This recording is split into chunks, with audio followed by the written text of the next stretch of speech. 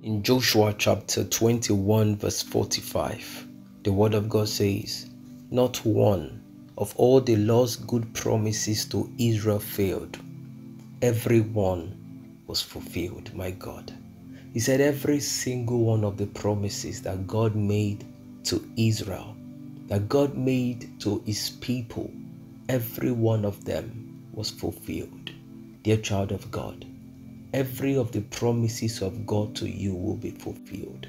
Everything that God told you, every single thing that God told your family, every single thing that God dropped in your heart, they will be fulfilled. It says, Not one of all the good promises, all the wonderful promises from the Lord failed. Every single one of them were fulfilled. Dear child of God, God is the good Father. And He says, Every good and every perfect gift comes from above, comes from Him. And everything good, everything beautiful, everything that would make your life beautiful, they would begin to happen in your life in the mighty name of Jesus. They would begin to happen in your family in the mighty name of Jesus. You will see pleasantness, such blessings, such bountiful blessings from God that takes away pressure. Everything that God brings to the lives of His people that makes them glad, dear child of God, you would receive each and every one of them. Have faith in God, trust Him. Every of the promise that He made to you will come to pass. Every single one of them, none of them will fail. The word of God in First Kings chapter 8, verse 24 says, You have kept your word to your servant, my God. This will be your testimony. You will come to God and say, Thank you for keeping every of your word to me. You will lift up your eyes to heaven and say, Thank you because you kept your word. The single thing you said that you would do, every one of them came to pass. Every single thing you promised me, everything you said you were going to do for my family, every one of them came to pass. He said, You have kept your word to your servant. David had everything that God told him come to pass. And Solomon knew about it and came to testify. He came to give thanks to God, saying, Everything you told my father this very day, you have fulfilled what you promised. Dear child of God, know this today that God will fulfill his promises. Every single thing that he said he would do, everything he promised you, he will fulfill them. Yes, they may have taken a long time. You may have been waiting for them, they may have lingered. But be rest assured of this, dear child of God. God will do it. Yes, He knows how to do it. He knows how to work it out. It is not your problem how God will do it. Just be expectant. The Word of God says that the expectations of the righteous will not be cut short. Just be expectant. Hope for the things that He has said He will do. And I want to assure you, the God who is worthy to be praised, He will do it. He will turn everything around. He will turn the situation around that you have been faced with for a long time. And you will see that His promises are coming to pass. He says that the Lord your God is worthy of praise because he has fulfilled what he promised my father David. 1 Kings 8, verse 15. Dear child of God, the promises of God, yes, every single one of them will come to pass. You would have a reason to rejoice. You would have a reason to testify because God came through for you. He says, Not a single one of all the good promises the Lord had given to the family of Israel was left unfulfilled. He says, Everything he had spoken came through. Dear child of God, you know God is not a man to lie to you. You know God cannot say the things that he would not do. He would not make vain promises. And this is what I want you to know. This is what I want you to know this faithful day that God will do it. He will do everything that He has said, every single one of them. Yes, you may not know how He will do it, and it's not your problem to know. You don't need to figure it out.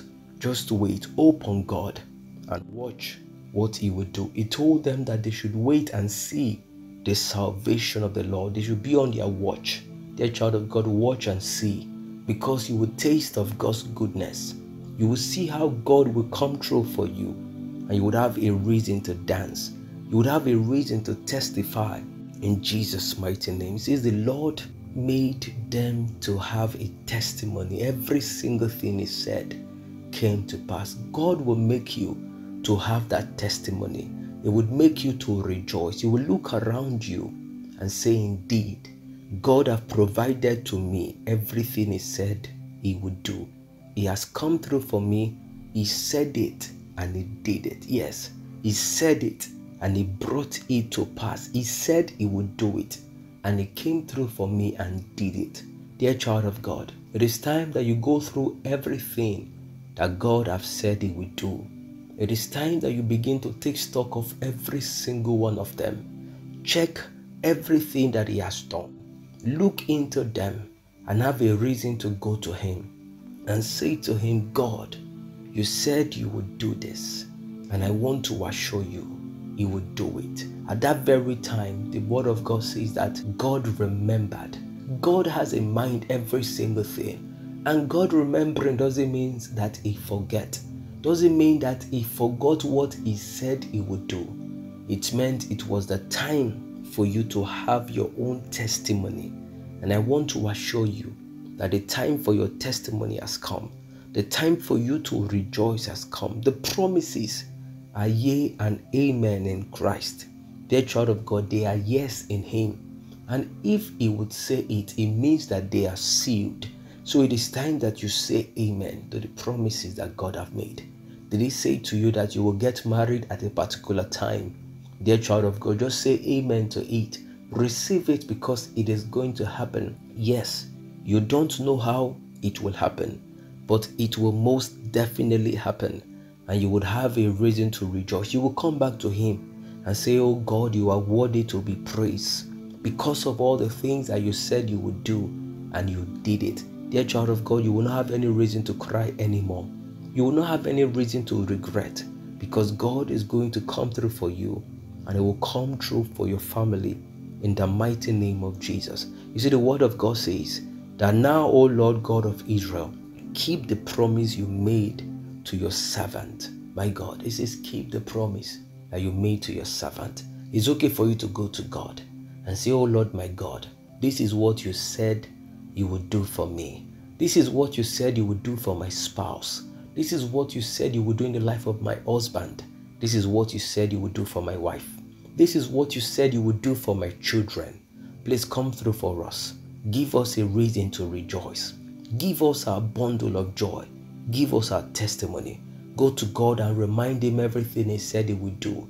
And I want to assure you, your expectations will not be cut short. He knows how wonderful it will be if He brings those things into your life.